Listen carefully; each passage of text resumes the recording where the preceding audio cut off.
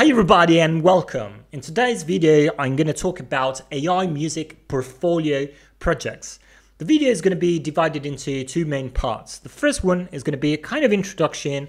I'm going to uh, say a few words about uh, what I believe is fundamental for a music AI music uh, portfolio project and also explain why these projects are very very important for you.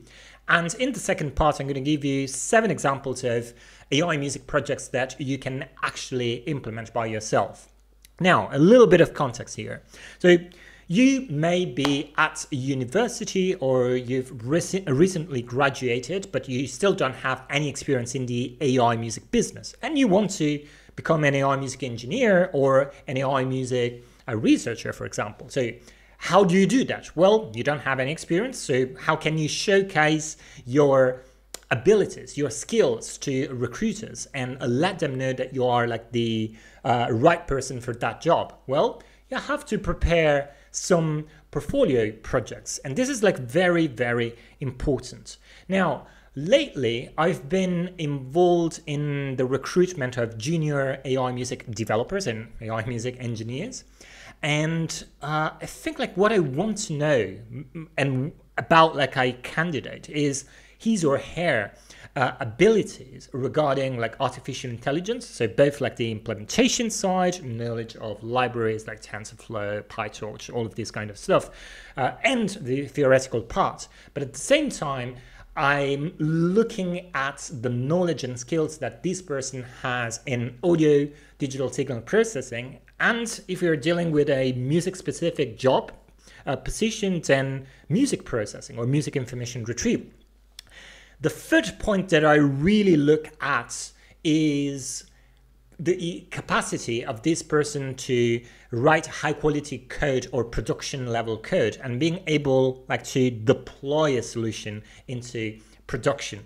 So just like to keep in mind, like these are like my three uh, top points for a candidate. So knowledge of artificial intelligence, its application in the music uh, environment or audio environment, and uh, the ability to be like a very good programmer in the end. Now, these are like the main features that I think are super important to showcase in uh, your portfolio projects. But what's like the ideal portfolio project? Of course, like you want to showcase all of this like uh, skills through like what you build, and at the same time, like a, an interesting question is like how big should a the scope of a portfolio project be? Well, my question to that is that of course like you have to to make a trade-off there right? So you can't build something like that's you can't build like a whole product. But on the other hand you don't want to build like something like that's a toy application either right? So I think like you should find a right balance. So something that isn't too large in terms of its scope, but at the same time something that isn't like too small. And I think like a good way of like uh, understanding or gauging whether like you are on the right track is to kind of dedicate a couple of months, up to three months of development time to a portfolio project.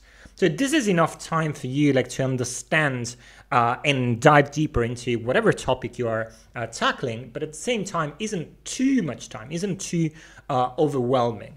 Now, this is like a, an important aspect, so that of like the scope, the finding the right scope for your project. Now, another aspect that I think like is very important for um, portfolio projects is their presentation.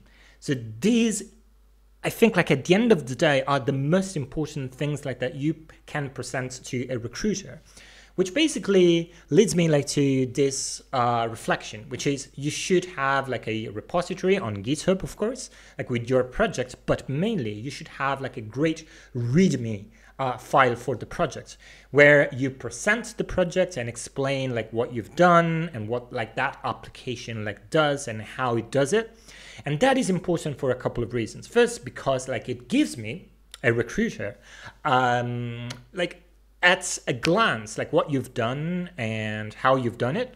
But at the same time, this also demonstrates the fact that you can communicate what you've done in a very efficient way.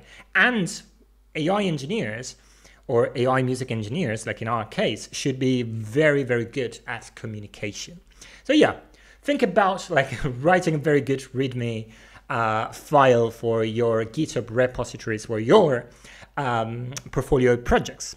How do you develop like these projects? I think what's really important to have in all of your uh, projects, no matter how large or how small they are, is having unit tests or even better, following the test-driven development practices. Now, if you're not familiar with TDD or test-driven development, I highly suggest you to go check that out because like it's a fantastic practice, software engineering practice to uh, improve the quality of your code. But in a nutshell, the basic idea is that you write a unit test that does like a very simple thing, and then you write the code that passes that test and you iterate. So you're going to write another unit test before continue working. So in this way, you're going to create a suite of a unit tests. Now, why is this important in a uh, project, right? In a simple portfolio project? Well, because it sends a very clear signal to the recruiter to someone like me.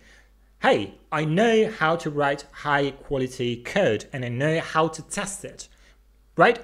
And you really can't imagine how few people actually do have like unit tests like in their portfolio projects and this is going to be like an absolute advantage competitive advantage that you'll have uh, among among like other people so yeah keep this in mind test-driven development and unit tests in your portfolio uh, projects. Finally, I want to briefly touch upon the benefits that you get by working on portfolio projects. Well, I think like here the benefits are twofold. The first part is that you, you're basically shouting to the world that you are a good AI music uh, engineer and you're just like demonstrating that by example right? Just by implementing stuff and something like that works. The second part probably is even more important than that. And it's basically the fact that you're going to learn a lot by working on this project. So you're going to get a lot of experience, a real world uh, experience, and you're gonna just like dive into, I don't know, research papers regarding whatever topic you may be tackling, as well as like understanding how like production frameworks and tools actually uh, work. So yeah, this was a little bit of an introduction regarding um, portfolio projects. Now, let's see seven examples of portfolio projects that you can work on.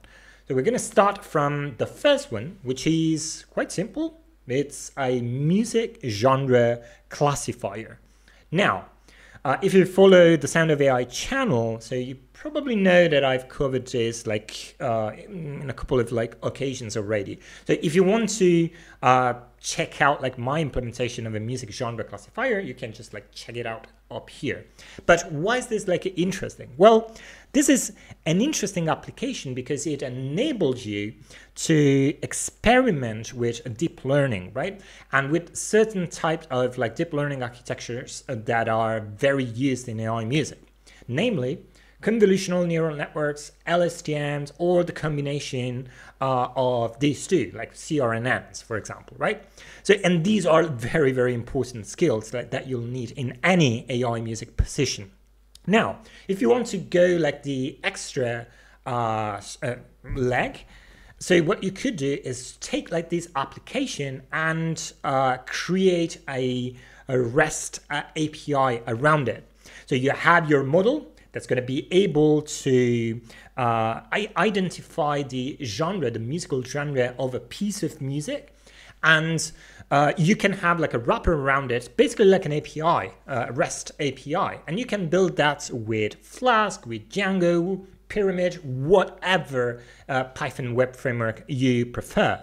Now, why is this important? Well, this is important because uh, mm, yeah, I would say like very, very often as AI music engineers, we are asked to build REST APIs where in the backend you may have like a deep learning model, but then you have to expose this like to the external world and you can do it and you can do this by uh, building a REST API. And in the process, you will also learn about REST APIs and how to uh, implement them. So yeah, this is like a very interesting uh, experiment or project, if you will, uh, to play around with. And so you have both the deep learning side as well as like the more production side with Flask and the actual implementation of a REST API. Project number two is very exciting and it's a, an intelligent loop recombination uh, system. So what's this about? Well, here, the idea is to kind of simulate what uh, EDM producers usually do. I don't know like how familiar you are like with electronic dance music and with music producers, but some of them work with loops. So loops are this, yeah, tiny music passages or music phrases, if you will. And you can have a loop that's a drum bit, right? Or you can have like a guitar loop or uh, a voice loop. And what some of these uh, music producers do is combining uh, together a bunch of different loops for different instruments and then creating, so composing the music by combining loops. Now, this project is basically doing like the same thing, but automating all of the all of the process, right? So you start with uh, certain loops and then you combine them in order to create a, a song out of like these loops. Now, what are you gonna like, learn by doing this? Well, first of all, I have to say that here you have a couple of options or a couple of uh, possible implementations. So one is basically using machine learning techniques, but in order to use machine learning or deep learning, you should have a data set not only with loops, but also with the actual combination of loops, right? And you, you know that, uh, you know the combinations, and then you can learn how to recombine intelligently um, like all of these like different loops. But most of the time you won't have like that data. You would actually have like just a loop data set, a bunch of audio files, right? And if you are lucky enough, they're going to be uh, tagged, and so you can use like that information. But this like uh, leads me like to the second approach that you can use for creating this intelligent recombination machine, which is a rule-based uh, engine, right? So basically, you are going to develop a bunch of rules based off the features that you can extract from these loops. And this brings me like to another interesting point, which is you want to extract these features. And here we're talking about all types of music and audio signal processing features like I don't know, like pitch, uh, contour, or key, or BPM, or I don't know, like density or danceability of a loop. So for extracting all of this information, you're going to need to work with audio digital signal processing. Some of these algorithms for extracting like BPM, for example, uh, you can build from scratch. Others, you can use uh, pre-made or third-party libraries. And this is very interesting because uh, by doing this ex exercise of extracting features, you're going to be uh, dealing with a lot of audio signal processing and music processing uh, libraries like Librosa, Essentia, and a bunch more, right? And the good thing of this is that, first of all, you're going to get a lot of experience with all of these tools and how to combine them together. And at the same time, you're going to dive deeper into audio digital signal processing. And a final word on the a rule-based like engine aspect. So I think like that is also like something like very very interesting like, to to have how to build like a rule-based uh, uh, engine. So that is like something like very useful. And still today, where all the buzz is with deep learning, machine learning, having the ability to build a very good rule-based uh, system is is great. And if you start working like on this project, so recombining intelligently loop with a rule-based system, then you'll also have to understand the domain. And this is also like something very important because in all AI music, you really have to have a very good understanding of the domain of the topic itself. And by working on a rule-based engine, this I mean, you can't fake it. You have to understand what you're doing. So there's no machine that's going to learn all of those rules like by themselves automatically. So you have to think, extract features, do some uh, like feature engineering, understanding how to use these features to build like intelligent rules. Let's move on to the third portfolio project. This is probably the most important one and the most valuable. The one that if you do implement are going to give you like the most benefits. And this is building a simplified version of an audio machine learning or deep learning pipeline. So what's this about? Well, the basic idea here is that you want to build a framework, a pipeline that will enable you to automate the whole machine learning or deep learning training process from data gathering all the way to deployment potentially. So what are like the, the main building blocks here? So you should think of a pipeline as a number of like components that like feed into each other. So here probably what you want to do is like start with like some kind of like pre-processing. So you have your data, all your data stored somewhere and then you are going to have like this first uh, component uh, that's basically going to pre-process the data. And by pre-processing, I mean being able like to extract features like spectrograms, MEL spectrograms, MFCCs, and storing uh, the relative features like somewhere else. So this would be like the, the first uh, bit uh, of like this audio pipeline. The next one will be that of like training so now that we have the uh, features we and we've extracted them, we can actually train our models. And so here you're going to have like the training uh, component where you can also like select among different models. And this is going to be like a very interesting challenge as well. So uh, building, probably using uh, object uh, oriented programming, a uh, framework that will enable you like to to create any type of, or a few types of um, deep learning architectures by calling different objects and stuff like that. Now, this is like very, very instructive and super useful. Uh, yeah, because it's gonna enable you like to to get accustomed with a lot of like different types of uh, deep learning architectures and at the same time thinking as an engineer not as a data scientist of as a person I've defined in a previous video a scripter someone who writes like this 1000 line scripts uh, without like any quality in the code uh, and reproducibility of the code whatsoever Okay, so here you have like your second component, which is like this training plus like model construction. Then you have like the third component, uh, component, which is going to be evaluation. So in this component, you're going to take care of evaluating uh, the performance of your uh, models. And finally, like the fourth uh, component will be that of like uh, containerizing uh, your models. So perhaps you can have a pipeline where at the end you you can like build a Docker uh, implementation or a containerization of your model so that they will be ready to be used on any platforms. Now, what's the great thing about like building like this simple audio ML uh, pipeline? Well, it is that, I mean, it's going to give you an incredible experience in all things regarding uh, for example, uh, the different deep learning um, libraries. So you can build this in PyTorch, you can build it in um, TensorFlow. And at the same time, it's going to give you like a great understanding of audio features because you have to take care of pre-processing. And also you're basically like creating a high level like engineering like pipeline, which is like actually quite difficult to do. And I have to say that if I'm a recruiter and I see a junior dev who's implemented a, an audio ML pipeline, well, I think I'm sold.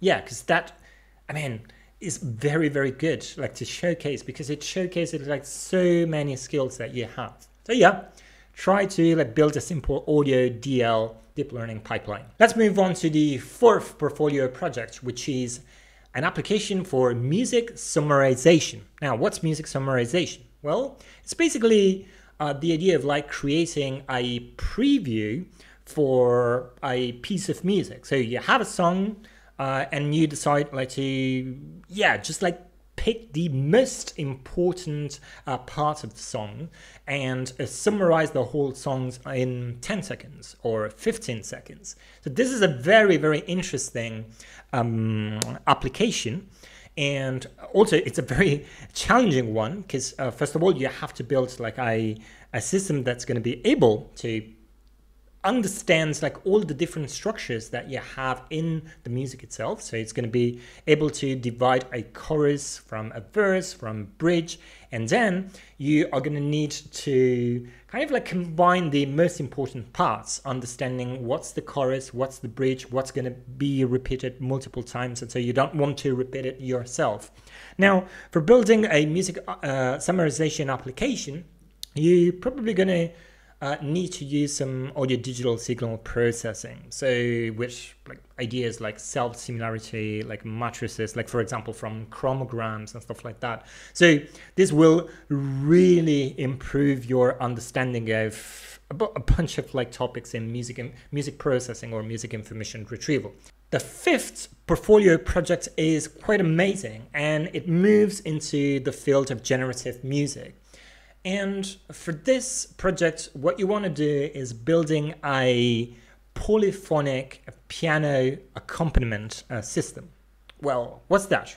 Well, uh, basically like the idea here is that you have like a melody and uh, like for example you can have like a voice melody right and so you can feed into like this system the melody and the system is going to build the accompaniment on on a keyboard or a piano uh, for that specific melody. Now, you could have like a couple of like approaches like to this. Well, first of all, the way like the, the type of data that you accept and that you create like with this system. You can go like audio, so you, you just like pass in an audio melody and you get out like an audio melody plus accompaniment, piano accompaniment. But I would discourage you like to work on this because it's very, very complicated. But rather, I would highly suggest you to work on the symbolic music um, kind of like uh, implementation of this. So in this case, what you're going to have is not audio as input, an audio melody, but rather you're going to have some kind of music re symbolic representation of the melody itself. So it could be basically like a MIDI file, a simple MIDI melody that you pass into the system, and then you get out a MIDI uh, file once again, but this time melody plus the piano accompaniment. Now, there are a gazillion ways you can actually implement this uh, application, uh, but I would suggest you to play around with GANs or generative adversarial networks like to, to build this because you're gonna get like a lot of good uh, like hands-on experience on GANs and these are like very delicate uh, generative deep learning models let's say train and yeah and it's going to be like a lot of fun and at the same time like a very instructive uh, experience. Next up we have the implementation of a music recommender system. Now music recommender systems are everywhere. So on spotify deezer yeah whatever like streaming platform has a music recommender system. Now there are different types of music recommendation techniques that you can use but mainly so far like the two dominant ones are collaborative filtering, which actually leverages the um, data, behavioral data. So like how uh, users like interact with a platform, like the what like users listen to, what they like, what they don't like. And then you have secondary uh, or second approach, which is so-called content-based filtering.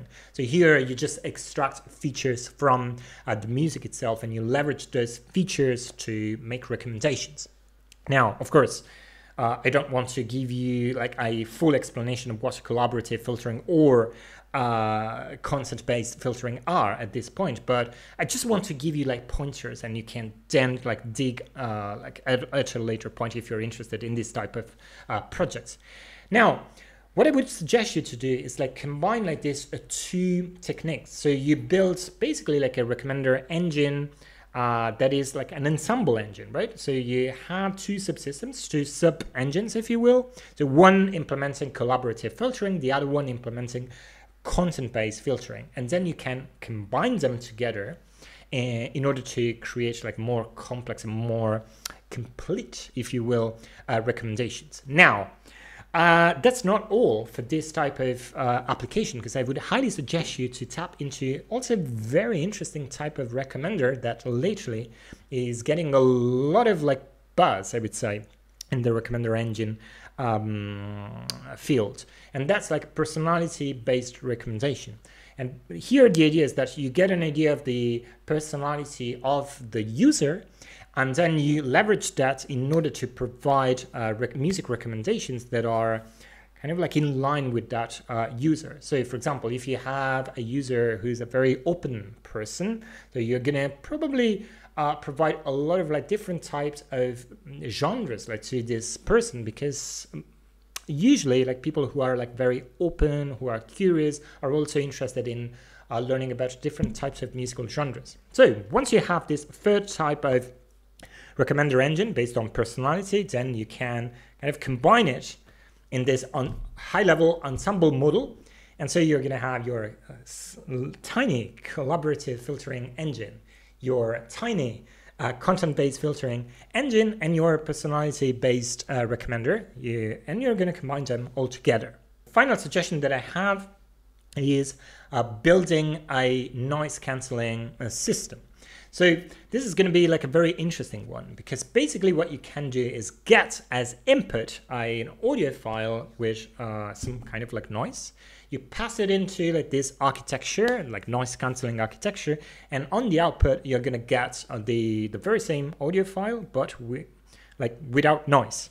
Now, how can you implement like this type of noise, cancel noise cancelling system? Well, there are a bunch of different techniques. Some of these are based off uh, audio digital signal processing, like for example, wavelets. But I would highly suggest you to work on uh, with a type of technique that's in the deep learning field. So using variational autoencoders. Now, variational autoencoders are everywhere these days. So it's very important that you are familiar with those. And so you can also use them for uh, basically like cleaning um, noisy signals and just like resynthesizing like the uh, the signals uh, removing noise. Now, if you want to learn more about variational autoencoders, I have a whole uh, series on them up here, and I've used them for generating uh, sounds.